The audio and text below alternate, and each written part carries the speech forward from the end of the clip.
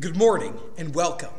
Welcome to worship for this Sunday, October 2nd. Uh, I think it's officially fall by this point, isn't it? You're starting to see leaves turn color, whether you're here in Chicago or whether you are elsewhere. Uh, you can just imagine the smell of fresh apple cider or, or good fall stuff like that. Uh, it is here, it is upon us.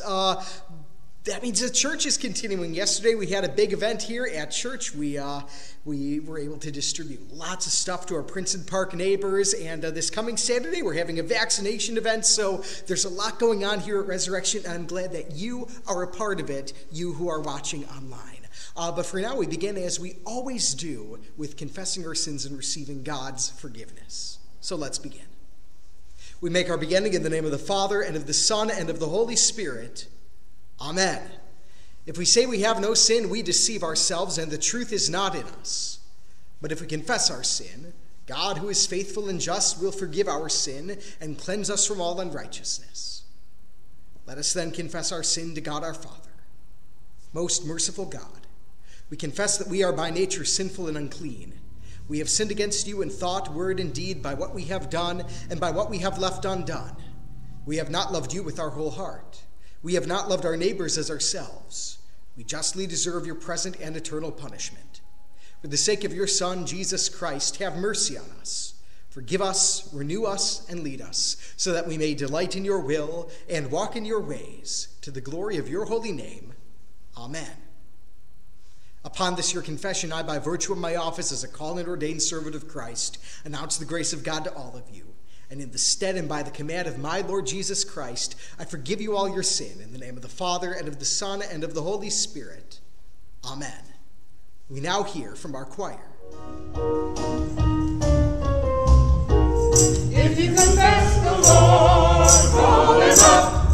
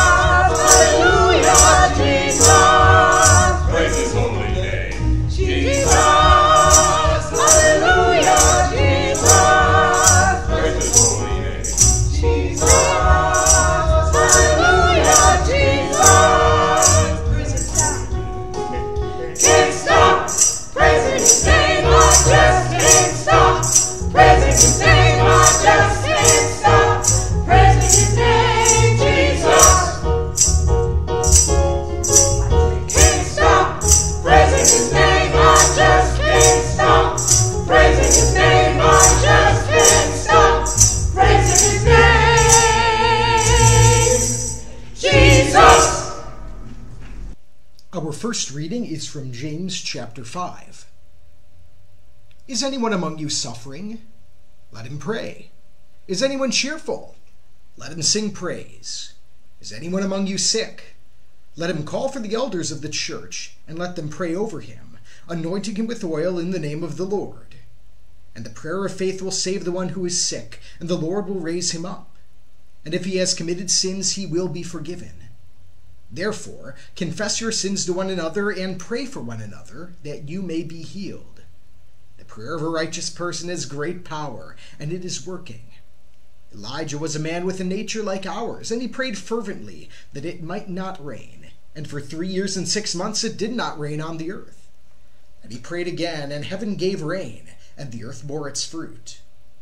My brothers, if anyone among you wanders from the truth and someone brings him back, let him know that whoever brings back a sinner from his wandering will save his soul from death and will cover a multitude of sins. This is the word of the Lord. Thanks be to God. Our Alleluia verse. Alleluia, Lord, to whom shall we go? You have the words of eternal life. Alleluia, Alleluia. The Holy Gospel according to St. Mark, the ninth chapter. Glory to you, O Lord. Jesus said, Whoever causes one of these little ones who believe in me to sin, it would be better for him if a great millstone were hung around his neck and he were thrown into the sea. And if your hand causes you to sin, cut it off. It is better for you to enter life crippled than with two hands and go to hell, to the unquenchable fire. And if your foot causes you to sin, cut it off. It is better for you to enter life lame than with two feet to be thrown into hell. And if your eye causes you to sin, tear it out. It is better for you to enter the kingdom of God with one eye than with two eyes to be thrown into hell, where the worm does not die and the fire is not quenched. For everyone will be salted with fire. Salted good, salt is good. But if the salt has lost its saltiness, how will you make it salty again? Have salt in yourselves, and be at peace with one another. This is the gospel of our Lord. Praise to you, O Christ. We now confess our common Christian faith in the words of the Apostles' Creed. I believe in God the Father Almighty, maker of heaven and earth, and in Jesus Christ, his only Son, our Lord who was conceived by the Holy Spirit, born of the Virgin Mary, suffered under Pontius Pilate, was crucified, died, and was buried. He descended into hell. On the third day he rose again from the dead. He ascended into heaven, and sits at the right hand of God the Father Almighty. From thence he will come to judge the living and the dead. I believe in the Holy Spirit, the holy Christian Church, the communion of saints, the forgiveness of sins, the resurrection of the body, and the life everlasting. Amen. Our sermon hymn is I Lay My Sins on Jesus. Please sing along. I lay my sins on Jesus, the spotless Lamb of God. He bears them all and frees us from the accursed load. I bring my guilt to Jesus to wash my crimson stains. Clean in his blood most precious, till not a spot remains. I lay my wants on Jesus, all fullness dwells in him. He heals all my diseases, my soul he does redeem. I lay my griefs on Jesus, my burdens and my cares. He from them all releases, he all my sorrows shares. I rest my soul on Jesus, this weary soul of mine. His right hand me embraces, I on his breast recline. Love the name of Jesus, Emmanuel Christ the Lord. Like fragrance on the breezes, his name abroad is poured. We make our beginning in the name of the Father, and of the Son, and of the Holy Spirit. Amen. The language that Jesus uses today in our gospel reading is, let's face it, kind of violent, kind of bloody, kind of shocking. I mean, he's talking here about the self amputation of body parts to get into heaven. So the question is what is Jesus talking about here? What point is Jesus trying to lay down here this day? Our focus will be on verses 42 on in our gospel reading if you're following along on the sheets. But to refresh your memories from last week, last week Jesus talked about children, about caring for children, caring for those who are vulnerable among us, and indeed hinted at how good it is to have a childlike faith. So that's the context in which Jesus is speaking of here. And he starts by saying, Whoever causes one of these little ones who believe in me to sin, it would be better for him if a great millstone were hung around his neck and he were thrown into the sea. Now, what's a millstone? First of all, let's figure that out. A mill, a mill, for example, that's something that they would thresh grain or they would um, grind grain into flour and you'd grind it between a couple of stones, you would crush the flour out from the grain, from beneath the grain. If you see a blade of grass with the grain going on it, you can imagine it takes a, a deal of pressure, a deal of force to grind that flour out from the grain. You do it on the mill with a giant mill stone, and these things were big. They were really big, and they were really heavy. However buoyant you are, as good a swimmer as you are, if that thing was hung around your neck, you would sink and you would drown. Jesus takes sin seriously, especially when your sin, my sin, causes someone else, especially the most vulnerable among us, to sin. Jesus takes the protection of children seriously. And that is why it is so heartbreaking to see so many churches have victimized kids in years past. For them, for those priests, for those pastors, for those institutions, for those leaders, it would be better if they were drowned into the depths of the sea. That is how seriously our God takes the protection of those most vulnerable among us. That makes sense. It even makes sense in our own way of thinking about things. We see on the news someone who hurts a kid and we get angry, and rightly so. That is righteous anger at the perpetrator, be that an individual or an organization. And we want to see justice done in cases like that, even if that justice is severe. But that happens to other people. None of us here is in the business of victimizing kids. So, what does this text have to offer us? Not only victimizing kids, but leading other people astray, young or old. Because you'll remember from last week, the children that Jesus speaks about when he says, Let the little children come to me, is us. It's all of us. All of us who have a childlike faith, a faith of a child, that's the one who Jesus invites to come to him. And it's not just us, it's also our neighbor as well. So if we in our own dealings and our own doings causes someone else to stumble, causes someone else to fall into sin, that word is for us too. Would be better if a millstone was hung around our neck. Because that's how seriously our God takes sin. That's how seriously our God takes the protection of the vulnerable if your hand causes you to sin. Now it's not talking about us causing someone else to sin.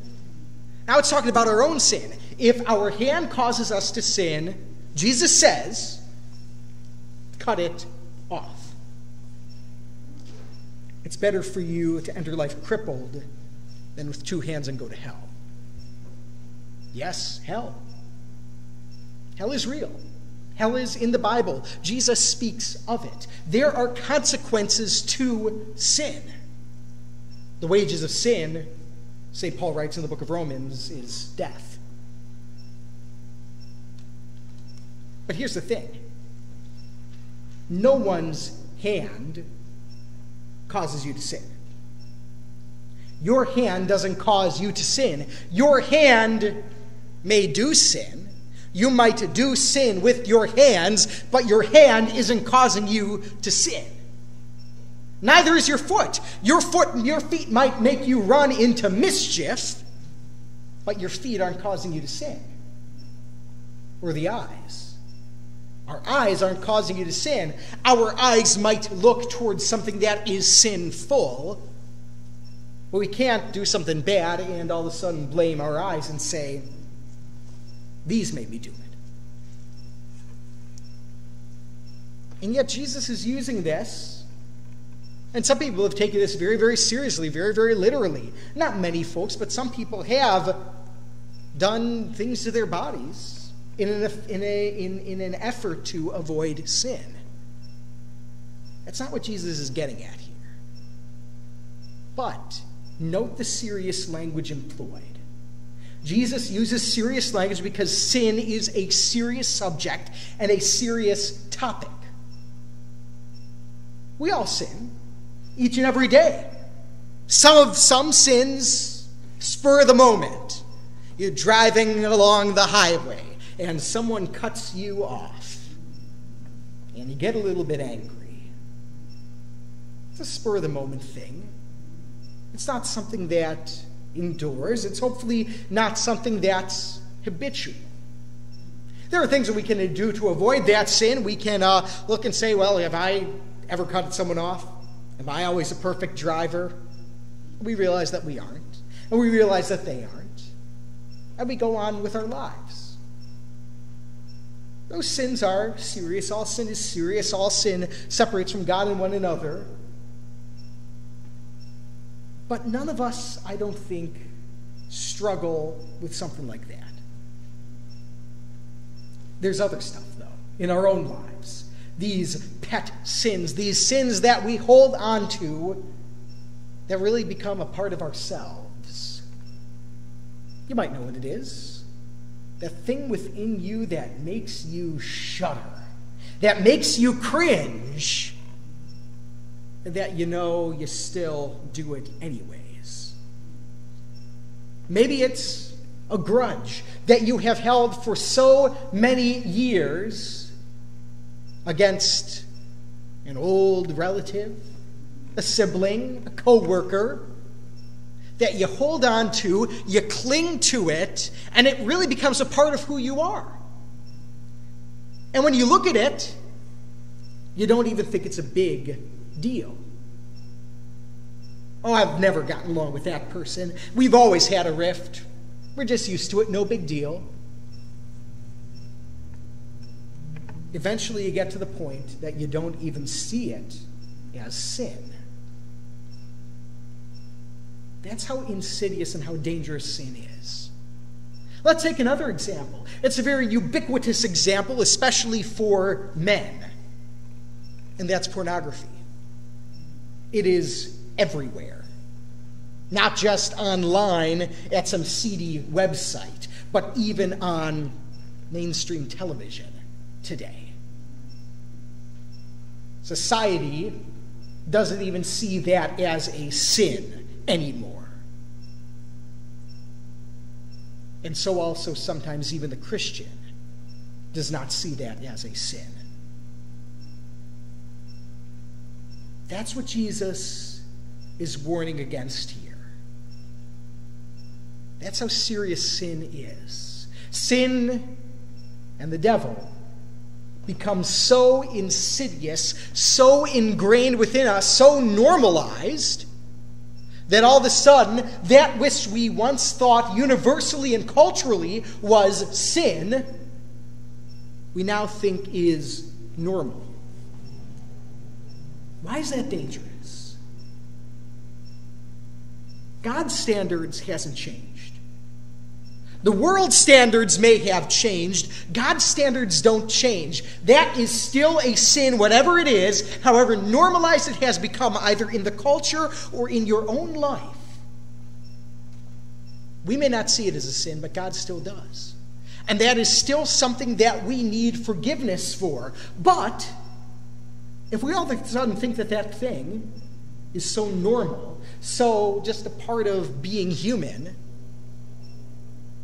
that we don't see it as a sin, we don't think we need forgiveness for it. We don't think we need Jesus for it. And that's where this language of hell comes in. We are all sinners. We confess that every single Sunday. We come before God, some of us standing, some of us kneeling, and confess that we are in bondage to sin, that we are captive to sin, and that we cannot free ourselves, and God always forgives us. But what about for those things that we don't even think are sin, that we might even think are good, that God thinks is evil? Do we seek Christ for that? Jesus died for that. Jesus poured his blood out on that cross of Calvary for that sin. Only for us to say, Jesus, we don't need you for that. It's no big deal. No biggie. That's why Jesus says here if your hand causes you to sin, cut it off. At the first sign of sin, that thing in your life which causes you, which tempts you to go down that dark road of sin, we are called to cut that off and to cut that out. Because the more we sin, the more we become used to sin, the more we become accustomed to sin the less we think we need Jesus.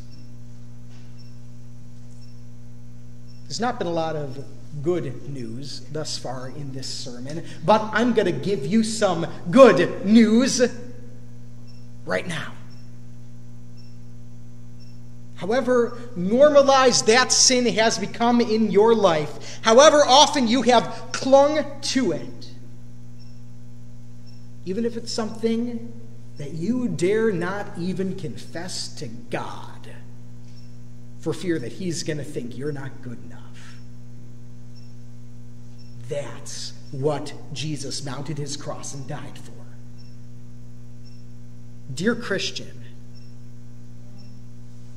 when Jesus hung on that cross, he didn't just hang on that cross for the sins that we readily admit, the sins that are evident in our culture. He did it for that deep, dark thing in your life.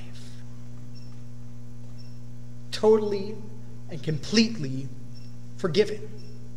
Totally and completely wiped away and washed clean. That's what Christ has done for you this day. Don't go back. Don't go back to that old way of doing things, that old way of sinning, for Jesus is all for you and gives himself freely to you this day. No matter what you've done, no matter what you've left undone, Jesus is for you. The more we sin, the less we think we need Jesus. So, yes, we should avoid that sin. And we should strive to do it. And indeed, if there is something in our lives that is causing us to sin, and it is not going to be one of our body parts, Jesus is using figurative language here to illustrate the point that, yes, there are things in our lives that cause us to sin. There are people, there are situations. It, maybe it's a situation in our lives, a workplace, whatever the case, that is constantly making us angry and frustrated and lash out at the people around us. We should remove ourselves from that situation lest we fall into sin. If there's something on the computer that's causing your eyes to stray, you can remove yourself from that situation as well. It's all sorts of software, all sorts of stuff like that that can prevent one's eyes from straying. God gives us the way and the tools and the agency to be free from that sin. But when you mess up, and you will, when I mess up, and I do, can always return to Christ. No matter how many times you do so. That's the power of His grace, and that's the power of His love. The tragedy is for those folks who, for whom sin has become so normalized that sin is thought of virtue, that they don't need Christ or they think they don't need Christ. We pray for them, and we pray that the Holy Spirit may guard our hearts so that we never go down that road. But even for those folks, there is always redemption. There is always a second chance. There is always a new day. And for you too. If you are thinking there is something in my life that I used to think was sin, that I used to think was wrong, that I've just become accustomed to, turn to Jesus and live anew and be salty once again, flavorful, something that indeed can change the world. Dear Christian friends, there's nothing that can separate you from the love of your Father and our Savior Jesus Christ. No amount of sin.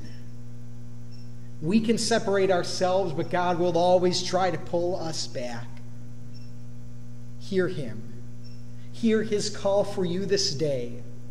Come unto him, all you who are weary and heavy laden, even by sin, and let him give you forgiveness, rest, life, salvation. And let him bring you to peace with God. A peace which passes all understanding, keeping our hearts and minds on Christ Jesus our Lord. Amen.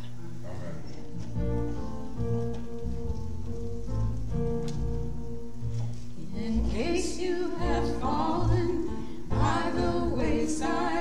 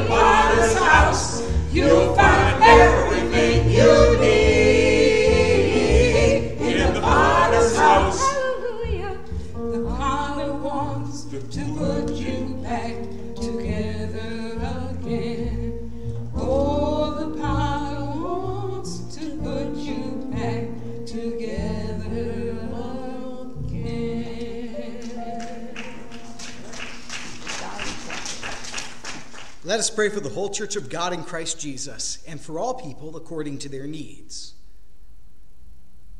Lord God, help us by your Spirit to receive your kingdom in humble repentance, like little children, that we may enter it into the joy of your forgiveness in Christ.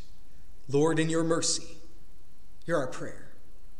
Lord God, Pour out your Holy Spirit upon us, that we may pay closer attention to your word, lest we drift away from it and neglect the great salvation it reveals to us in Christ. Lord, in your mercy, hear our prayer. Lord God, help us when we do not see everything in this world in subjection to Jesus. Give us eyes of faith to see him crowned with glory and honor at your right hand, and so believe that nothing is outside of his control. Lord, in your mercy, Hear our prayer. Lord God, comfort all who suffer in body and mind and all who mourn. You made the founder of their salvation perfect through suffering, that in all their trials they might put their trust in you. Lord, in your mercy, hear our prayer. Into your hands, O Lord, we commend all for whom we pray, trusting in your mercy through Jesus Christ our Lord, who taught us to pray. Our Father, who art in heaven, hallowed be thy name. Thy kingdom come, thy will be done on earth as it is in heaven. Give us this day our daily bread, and forgive us our trespasses as we forgive those who trespass against us. And lead us not into temptation, but deliver us from evil. For thine is the kingdom, and the power, and the glory, forever and ever. Amen. Let us bless the Lord.